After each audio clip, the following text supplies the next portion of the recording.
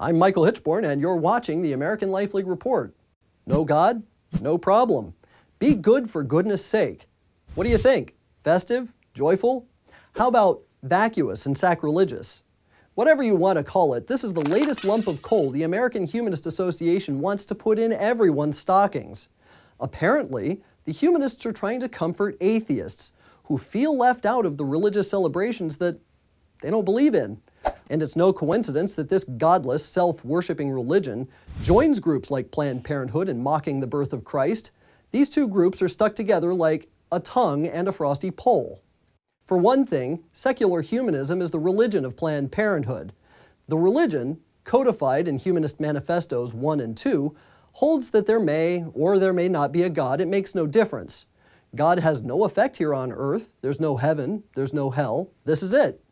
Humanists say, we strive for the good life here and now. Or, as the new ad campaign says, be good, for goodness sake. Humanists believe in moral relativism and state, in Humanist Manifesto 2, the right to birth control, abortion, and divorce should be recognized.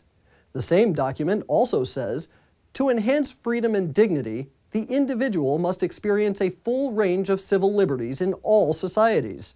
This includes a recognition of the individual's right to die with dignity, euthanasia, and the right to suicide. But the civil union between Planned Parenthood and the American Humanist Association isn't just an ideological one. Just consider the humanist recognition of these Planned Parenthood officials. Since 1953, eight members of Planned Parenthood, including three of its presidents, received humanist awards. In fact, not only was President Alan Guttmacher a signer of the 1973 Humanist Manifesto 2, but Tom Davis, the head of Planned Parenthood's Clergy Committee, wrote a book in 2005 titled Sacred Work Planned Parenthood and its Clergy Alliances. This book specifically stated that Planned Parenthood is a secular humanist organization. But the humanist slogan this year is Be good for goodness sake. What does Planned Parenthood claim is good? Well, in 2008, Planned Parenthood honored Reverend Deborah McKinley with the Davis Distinguished Service Award in recognition of her service to the Planned Parenthood mission. McKinley is the first woman to receive the award and during her acceptance speech claimed that the work of providing abortions is sacred work and prophetic work.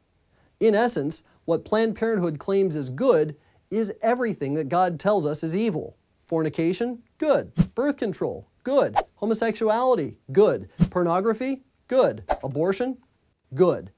And remember, your tax money funds Planned Parenthood. Just this month, the House of Representatives rushed the approval of a bloated omnibus bill appropriating over $648 million for family planning, much of which will find its way into Planned Parenthood's coffers. Face it, children are dying because of what Planned Parenthood calls good. And the less pressure we put on Congress, the more money Planned Parenthood will get. Please, spread the word.